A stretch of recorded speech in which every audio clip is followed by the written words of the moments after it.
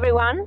My name is Camila and I'm here with my colleague Farsad talking to you from the most livable city in the world, Melbourne. This is truly a very friendly place to live in. However, like most cities in the world, Melbourne faces important challenges.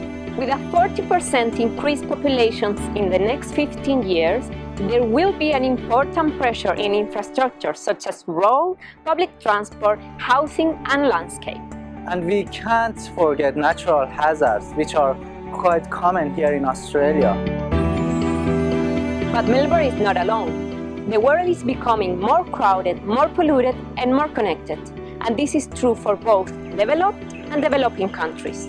Universal problems are highly diverse, ranging from climate change to urbanization, from water to air pollution, and from natural hazards to wars. And we face major environmental problems in non-populated areas as well. The growing energy demand is a latent threat to our natural resources such as rivers, forests and minerals.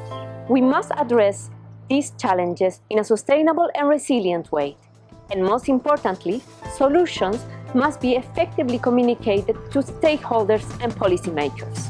These and other infrastructure and environmental challenges need to be addressed in the nearest future to provide more secure and comfortable life for future generations. We are now at the University of Melbourne, the largest research organization and top-ranked university in Australia. Melbourne University has a number of schools, academic departments and research centers with a rich history of pioneering research and technological development.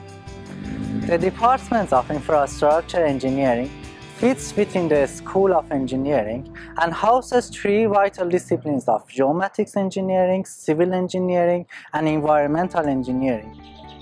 We form a group of more than 40 academics, more than 120 high research students from 21 different countries.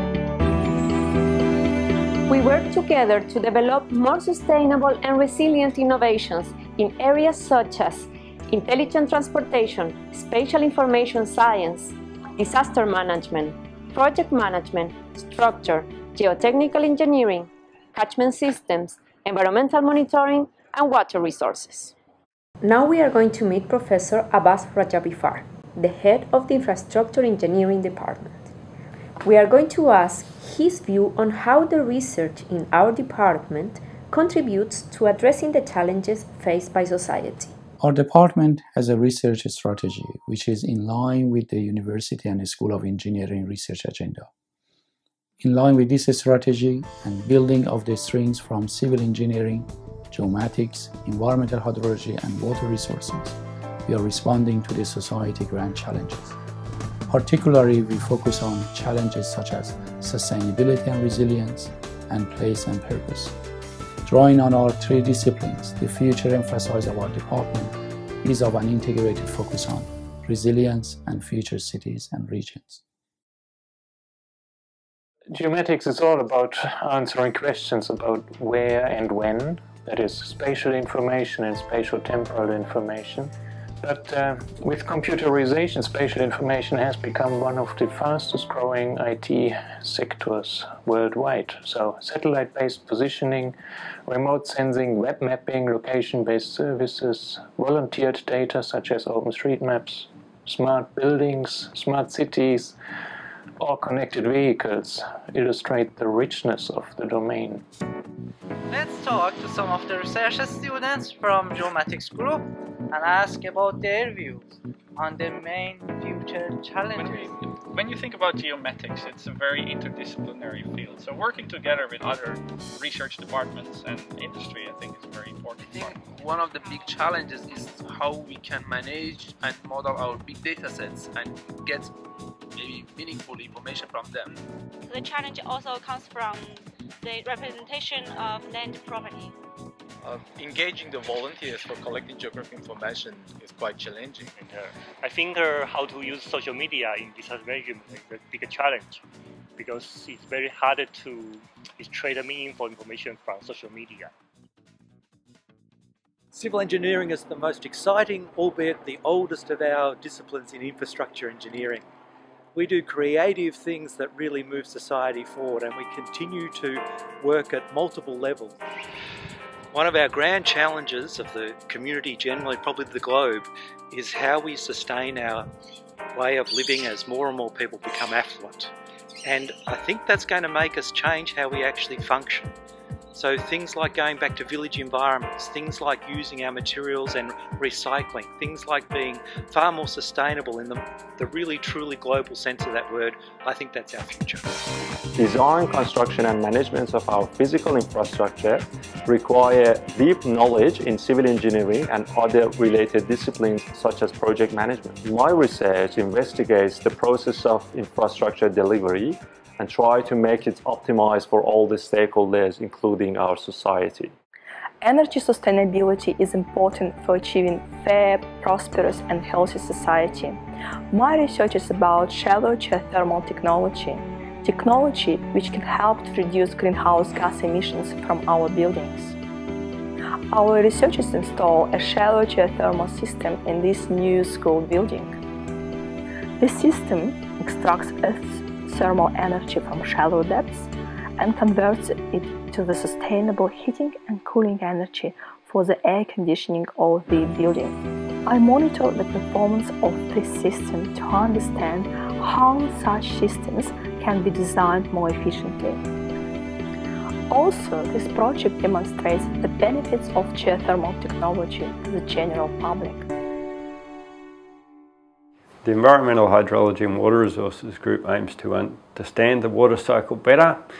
We aim to come up with innovative ways of measuring uh, water in the landscape and better ways of managing water to get the most environmental, social and economic benefit. This depends on excellent engineering and science skills, on incentives to employ those skills and good governance to make that easy. In 30 years time the planet will have more people, it'll be more urban, we'll have fundamentally different ways of getting our energy, we'll be putting more emphasis on a good environment, so water will be important in that. One of the major challenges faced by hydrologists is the uncertainty in prediction of stream flow at ungauged locations due to lack of ground observations to calibrate the model. Stream flow is important because its extreme values are related with flood and drought. So through my research, I am trying to find an effective way of utilizing remote sensing data to calibrate the model so that we can have better prediction of stream flow. I'm also using satellite images in large scale sparsely gauged catchments. I use optical remote sensing data to map floods in extremely flat floodplains. It results in better understanding of flood dynamics and improvement of performance of hydrological models. Our department delivers a range of coursework education programs that match high quality staff with excellent students.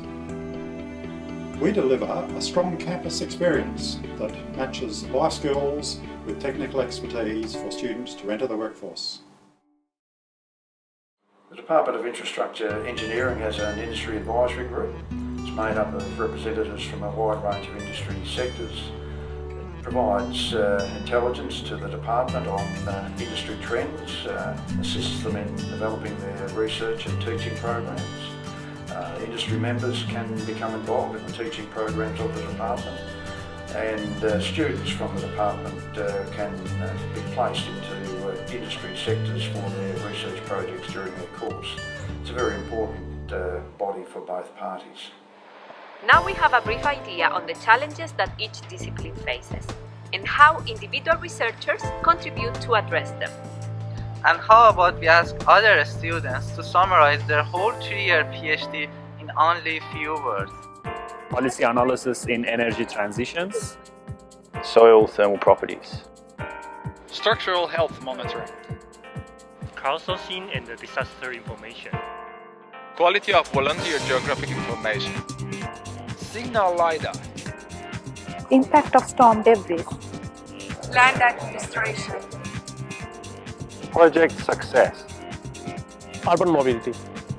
Improving hydrologic model. Shallow geothermal technology.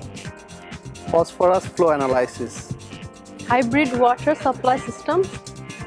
Crop water stress. Nanomaterials in building. Social benefits of infrastructure. Stakeholder analysis.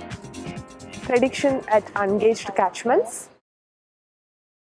The Infrastructure Engineering Department works on vital infrastructure and environmental issues that need to be tackled in the nearest future. We trust that our collaborative research efforts will help to shape a better world. And finally, how do you imagine the world in 30 years' time? Intelligent urban connectedness.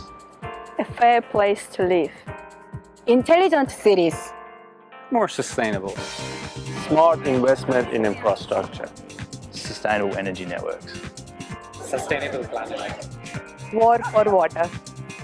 Citizen contribution. Self-healing cities. Full of debris impact. Integrated. Increased food crisis. 3D. Water scarcity. More agile and adaptive cities. Sustainable society. Smart and intelligent cities. An advanced village.